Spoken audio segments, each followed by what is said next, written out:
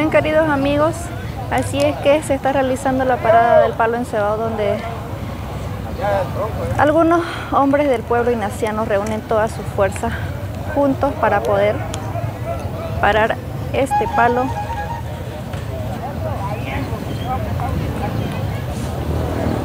Entre jóvenes y ancianos se está realizando la gran parada del palo encebado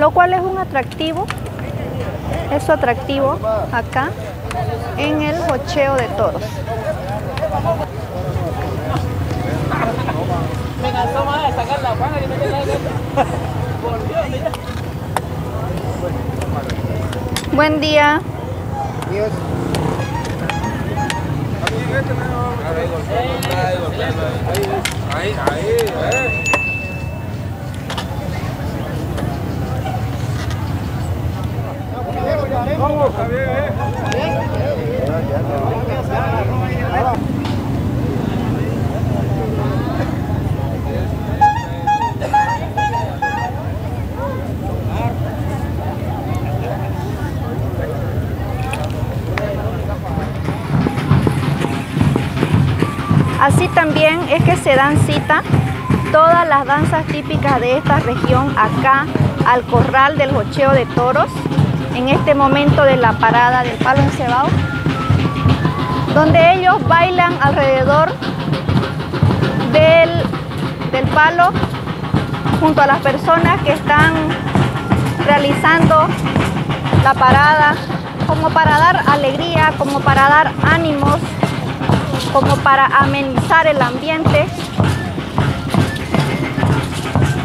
Ahí vemos la danza de los macheteros.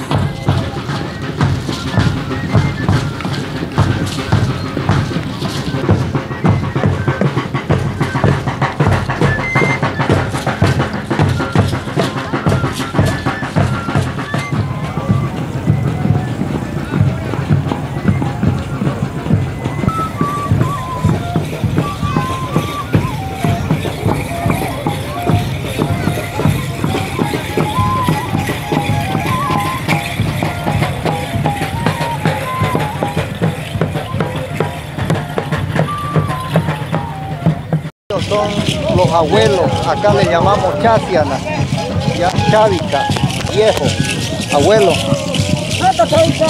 Mira.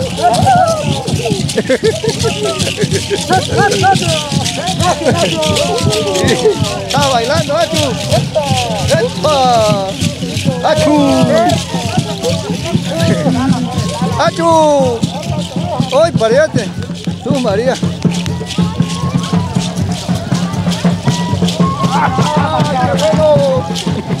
Empezando el mes de mayo es cuando nosotros nos reunimos todos los cabildos y nos vamos a cortar el palo del cebado.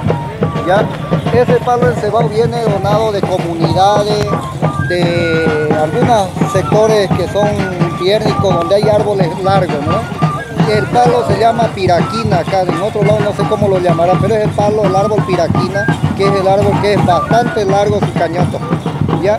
Entonces ese arbolito lo cortamos entre el 5 al 15 de mayo, ya tiene que estar abajo. ¿ya? De ahí viene junio, julio y el palo ya está bonito para moverlo ya. ¿ya? Entonces el día que empieza la novena del Carmen, ese día el palo llega a la puerta del Cabildo. empieza la novena de la Virgen del Carmen Suena el camaretazo 9 de la mañana, el palo a las 3, 2 de la tarde, sí o sí tiene que ya aproximarse. 5 de la tarde el palo ya tiene que estar en, en su puesto de donde se lo... Empieza la novena del santo patrón San Ignacio y ahí todos los pasados cabildos, corregidores, caciques, primero intendentes, entonces segundo cacique todos esos pasados se vienen con su hacha, su azuela, su cepillo y lo limpian el palo, lo raspan, lo acomodan. Puesto que ya el segundo día de la fiesta se lo trae el palo aquí para enterrarlo ya. ¿ya? Entonces el árbol tiene dos metros de profundidad. Tiene una sustención de dos metros por 80 centímetros hacia los cuadrados adentro, con profundidad de 2 metros. Es una resistencia para que todos los movimientos que hay arriba no tenga que el palo se dalee, digamos. Ahora, esa rueda que nosotros le ponemos ahí, lo que a caimar le llaman, entonces esas llaves que se le ponen, eso es para la fijeza de los trepadores. Ya, esas dos cruz que tiene allá abajo, de ahí se por, ese es con el objeto de que a veces se suben tres hasta cuatro arriba. Ya llegan cuatro a veces arriba. Entonces tienen opción a sentarse uno en una este, otro al otro, otro al otro, porque ya no permite más de cuatro. Ya, entonces la rueda que se hace es de un bejuco blanco, está robado de tacuara partida con charama, de perea o de piraquina. Entonces eso ahí es donde vienen colgados los premios grandes. Los premios vienen de la vecindad, de todo el pueblo, el que usted sea ganoso o que quiera donar algún regalito puede hacerlo, cualquier persona puede hacerlo, no siempre las autoridades locales, no, los comerciantes, personas de afuera, personas que vienen, son las personas que ellos donan. Hasta una tijera, hasta un paquetito de agujita, hasta un hilo, un canutito, todo es bienvenido al palo en cebao. O sea que eso viene por una tradición muy importante de nuestros ancestros, nuestros pasados abuelitos que hemos tenido nosotros. Entonces eso es lo que le puedo informar al respecto del palo en cebao. ¿Cuál es su nombre? Eduardo Caballero Jiménez. Ya, eh, yo fui uno de los capitán grande, segundo corregidor durante 13 años en el Santo Cabildo. Eh, fui uno de los, de los que entré al Cabildo bien jovencito, o sea, con menos edad, que no estaba permitido, pero me gustaba mucho. Y tuve 13 años en gestión del Cabildo, manejando una silla grande. Entonces, ahora con todas esas costumbres que llevamos, gracias a muchos abuelitos, eh, hasta ahorita que voy funcionando en mi gestión, cinco corregidores cambié en mi gestión y no me dejaban salir, bueno, por eso, porque era buen, buena persona y me gustaba mucho, amo mi cultura. Entonces, logré salir, ahora quedamos con un juramento de que seguimos siendo cabildo hasta morir, digamos. Esa es nuestra cultura, nuestro juramento que hicimos de que seguimos apoyando, compartiendo y haciendo adelante la fiesta. Que todos los visitantes se diviertan. Somos los que cuidamos, somos los que orientamos a los que están en gestión ahora, porque algunos juramentan sin que sepan.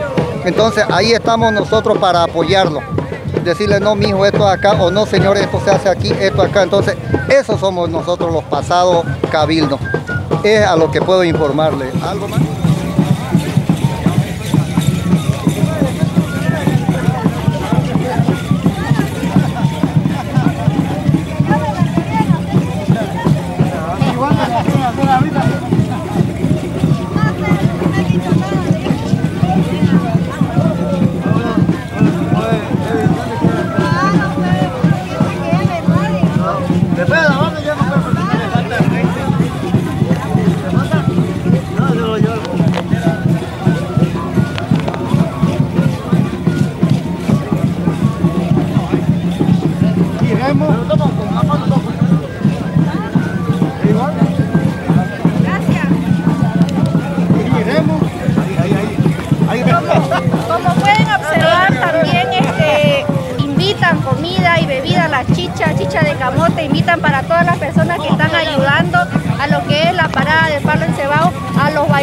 También, ya que todas las personas que ven aquí ayudando lo hacen de manera voluntaria, nadie les, nadie les paga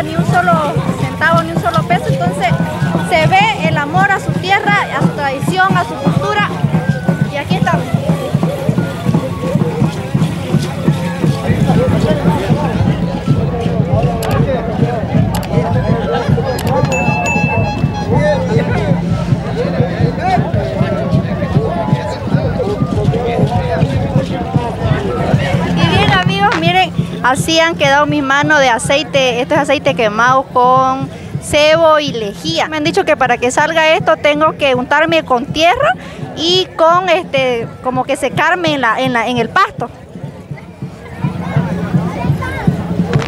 Sí. Vamos a ver si es que lo, lo hago de manera correcta. Eso. Me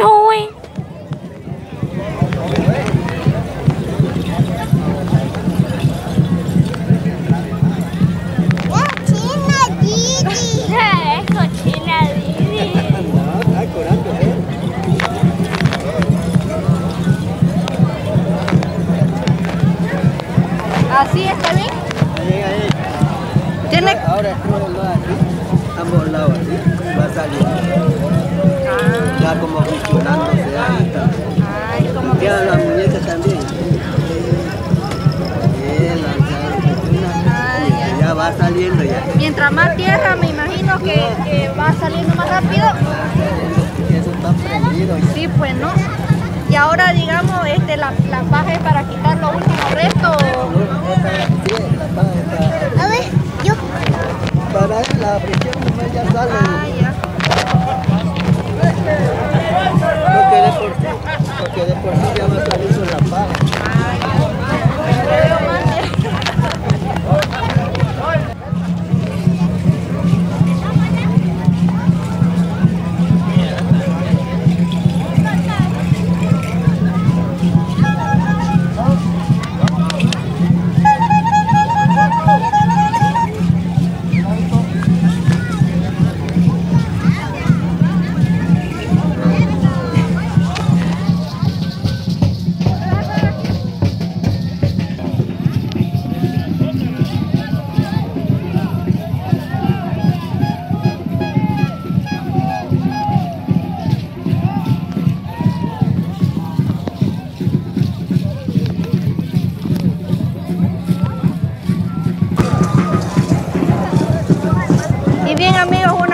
Ya se llenó, se le untó, se podría decir, el cebo y el aceite quemado al palo encebado y se colocaron todos los premios, ahora se está realizando la parada.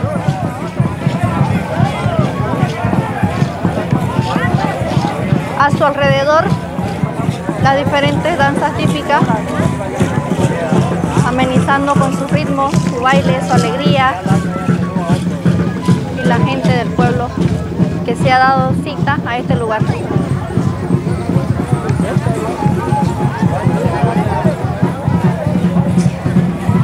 Estamos muy felices y contentos de poder participar de esta actividad que es realmente muy, muy hermosa. Se siente la alegría en el pueblo ignaciano. A pesar de este sol muy, muy caliente, pero la verdad es que en este momento no importa porque la alegría sobrepasa cualquier otra cosa.